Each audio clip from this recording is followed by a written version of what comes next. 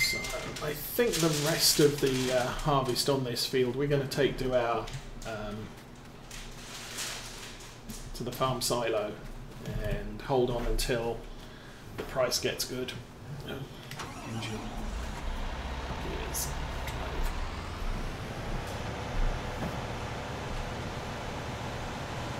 Guessing potentially there's maybe another two trailer loads before we get done here. Slow down the front over the hitch.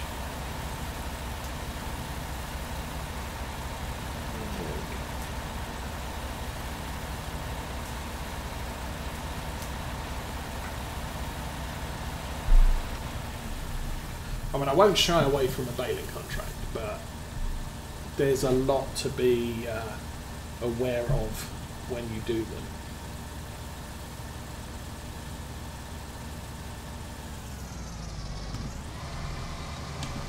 Now, I don't have multi-contracts mod switched on for this playthrough.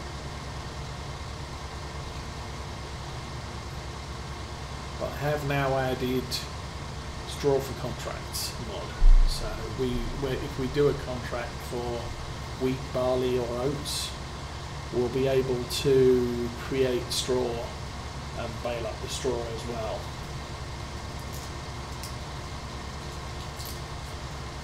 As I'm not sure we're going to get much in the way of uh, harvesting contracts on this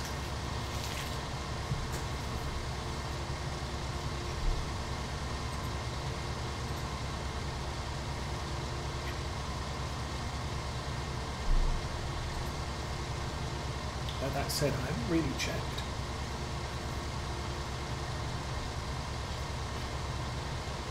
I have enough time to.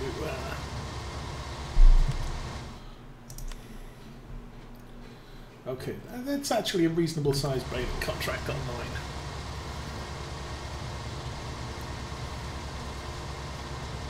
It's just that it's going to rain this afternoon, so I don't think we'll get to it today.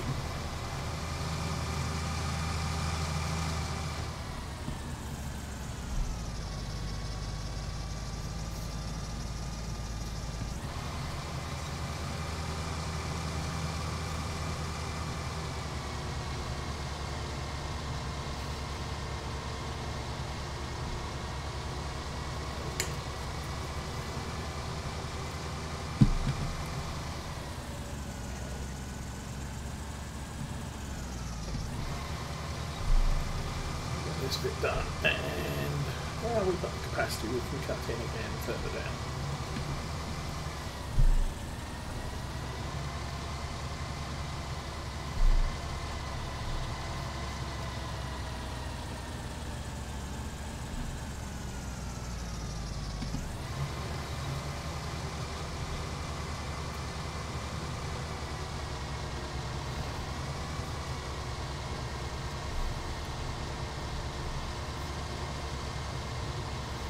Now also, because we're farms at the bottom of the field, I'm not going to worry about that corner over on the right there until we get to leaving.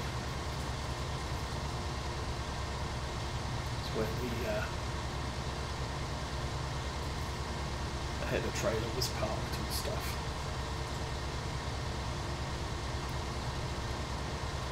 We'll just carry on doing the main field up and down until it's done.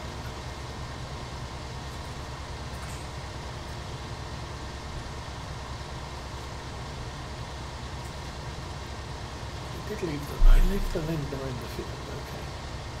I had intended to move it out, but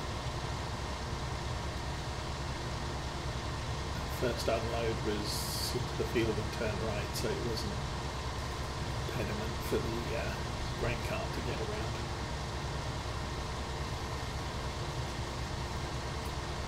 I don't think I'm doing this particularly straight. So, uh,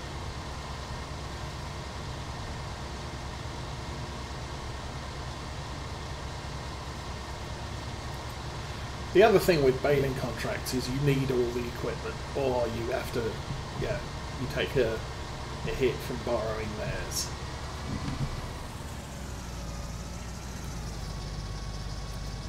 Yeah, because we are primarily hay.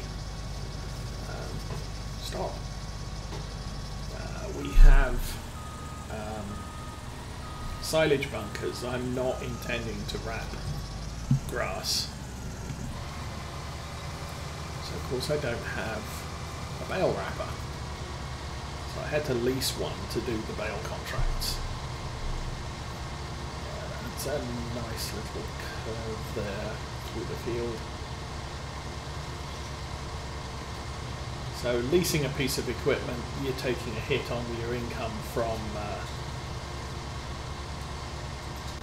from the contract. But I did, I think it was about four contracts that paid out about eighteen thousand total. And then in addition to that, we made say 10,000? No, more than 10,000. Than 10,000.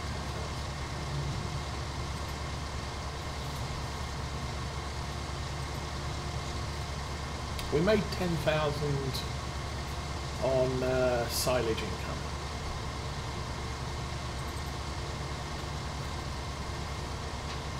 The BGA, so we did, we did okay.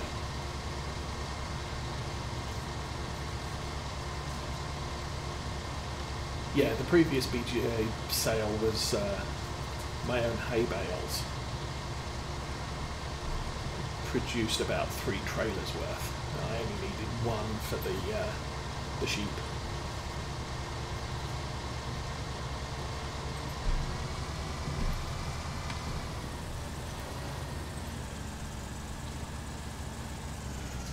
About ten thousand bonus, twenty five thousand income, and we spent a little bit on uh, on a wrapper to get the contract done so we didn't have to borrow theirs.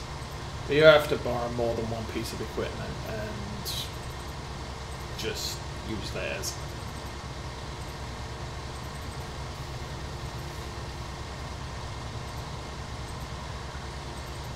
Then if you're not running the multi-contract mod, you are going to have to borrow their equipment on every single contract, which is a lot. Yeah, you take a hit on every contract. 123H Turkman, Turkmani. Welcome to the stream. Uh, my day is going well. We are finally harvesting.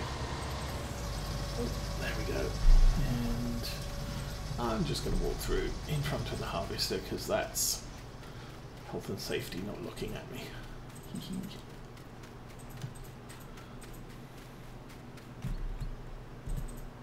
uh, yeah, so that patch there we'll do at the end of the, uh, the field when we're bringing all the equipment down to this corner.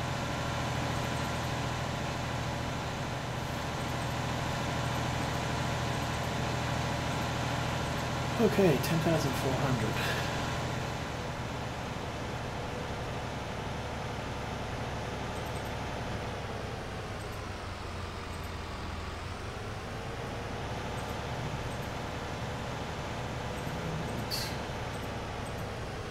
Game day time is 8.30, so still a ways before the sale, before the rain,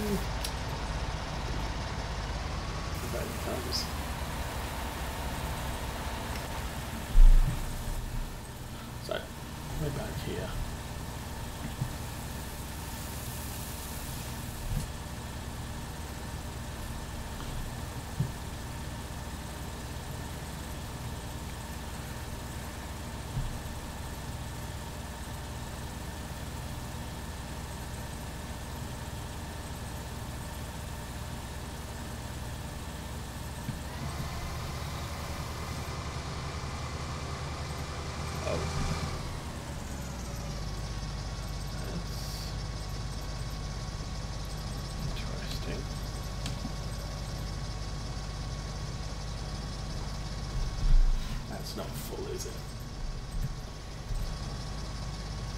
No, that's not full. Oh!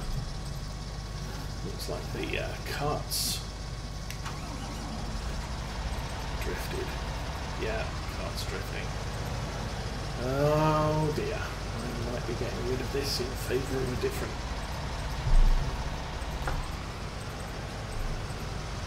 haulage. Although that said, I'm not sure if it's the harvester, but you see that's sliding. While it was loading, that was sliding. So I might be getting rid of that cart in favour of a different one.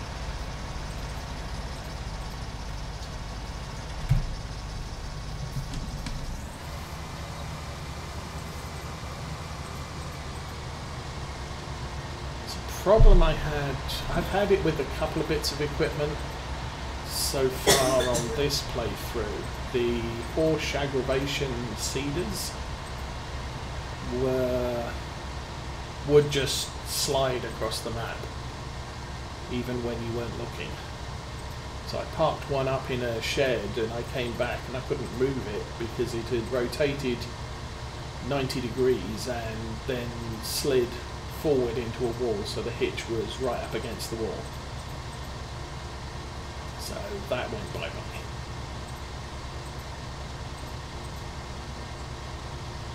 I don't know what causes it. As I say, I'm not a modder, so I don't know how that sort of thing works.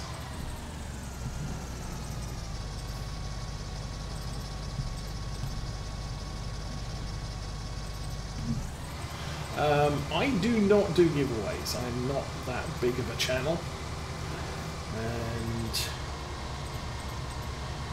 I'm not that wealthy of a person.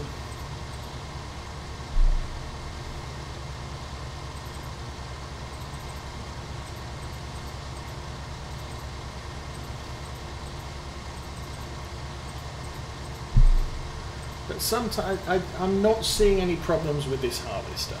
So I don't think it's the harvester, I think it's the wagon. I could be wrong. It could be an interaction between both of them, but since we're keeping the harvester, um, we might just be getting rid of that wagon and swapping it for a different one, which is a shame. It's a nice looking wagon. But there's others.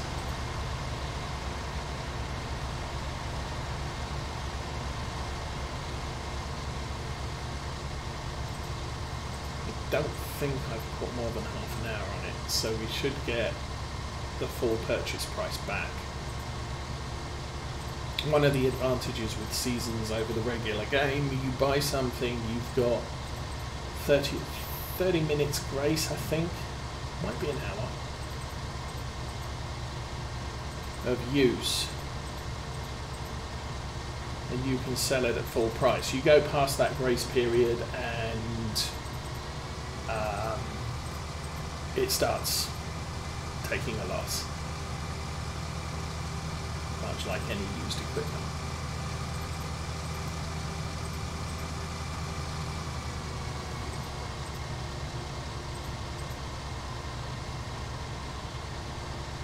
suppose we could actually tell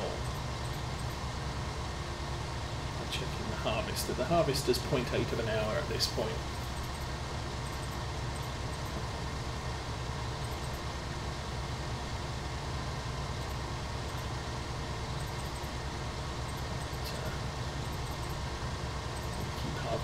Until we're done.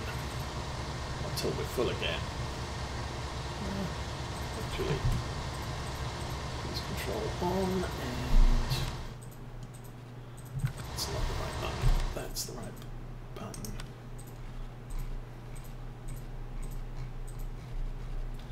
Okay, where's the harvester?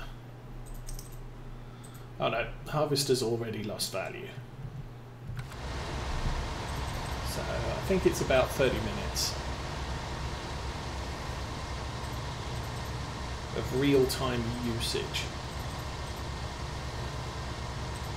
I think it's real-time usage. But anyway, that... Uh, yeah, it must be real-time usage because I bought one of the uh, the seeders. I went out and did a whole load of cultivating work and what have you. And I came back a few real time hours later because I hadn't used it. It was still full value or full purchase value.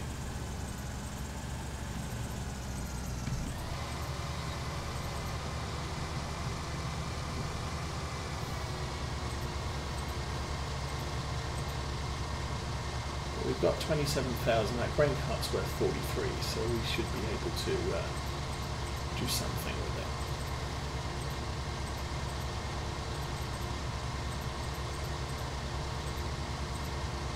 I think it's quite close to being full.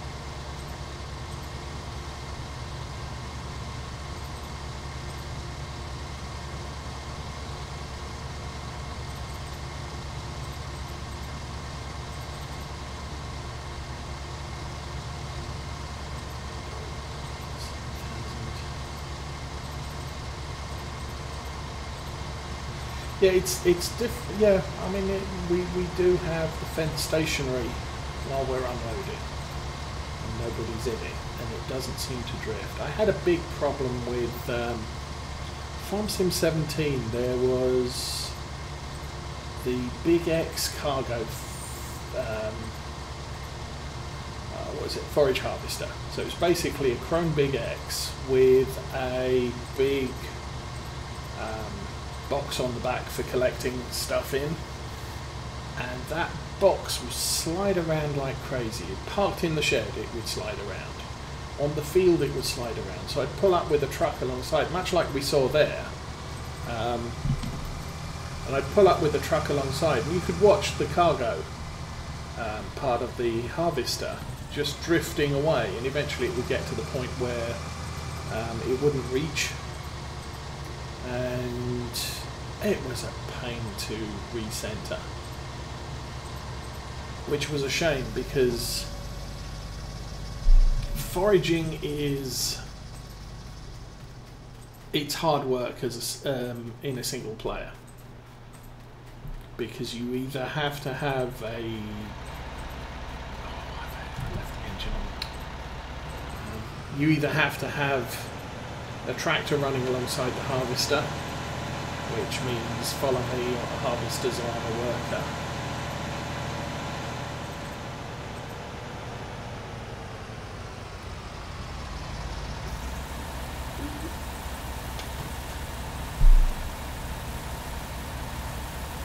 Yeah, that's sliding away. Slip sliding away.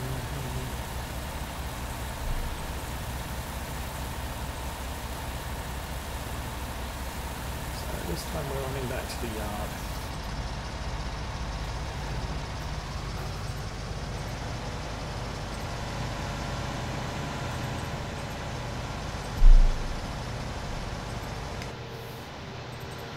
We'll put this in storage.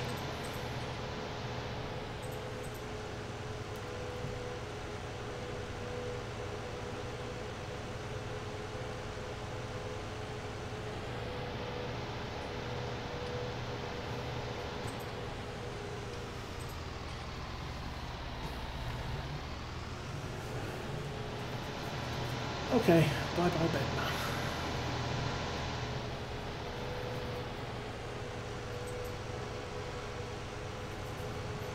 Yeah, for the um, for foraging, I ended up using the sugar beet trailers from the uh, platinum expansion on 17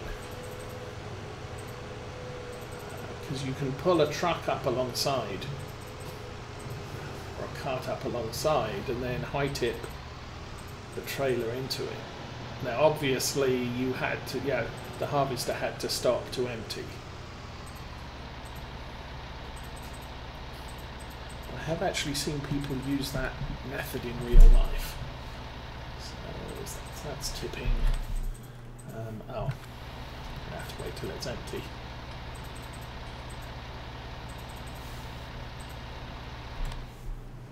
Okay, garage. 43 1.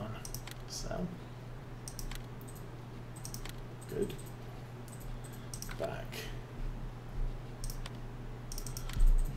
Time I'm going to check on how much that did eventually cost us. It's 38. We went one and one. And that's all we went with. So 43 1. We didn't lose any money on that trailer, so that's a good thing. I don't know why we all set up standard standard because anyway, I'll drop that from the uh, the mod list later. This is a 21,700 or 39. Uh, arch.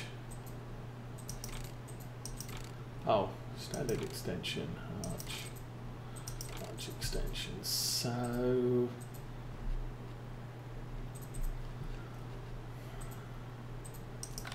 it's a little bit small, I think. It's this one. That's 30. No, that's a. Oh no, that's a regular grain cart. This is a little bit big. Yeah, that's a little bit big. What about that one? 22.5. Okay, maximum capacity. Wow, that's very high. Ugh.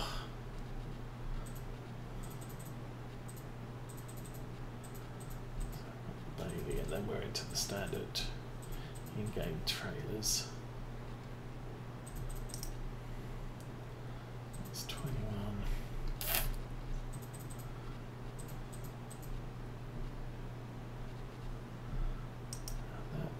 That's way too big. That's too. It basically that one is just too big for the the map. Uh, that's a possibility, although that's what twenty thousand. It's twenty two five. Uh, let's, let's,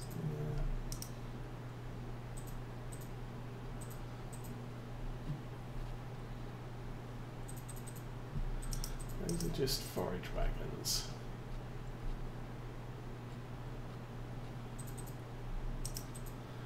That one's 48, that one's 45, too big. That one's 31, still a little bit long. Okay, let's go with the Brantner for now. Or the Bailey. Bailey or Brantner? Bailey's cheaper. Standard 21.7. Okay, we'll go with 21.7. It's a little bit less than we have right now. I'm going to put uh, metal wheels on it. Uh, rear hitch, no. Reflective tape, yeah, why not? Um,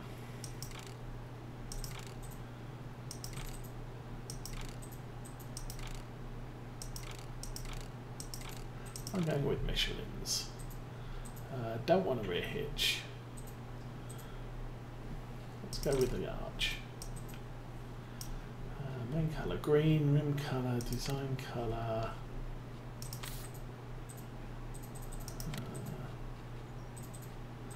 yeah, I'll go with that.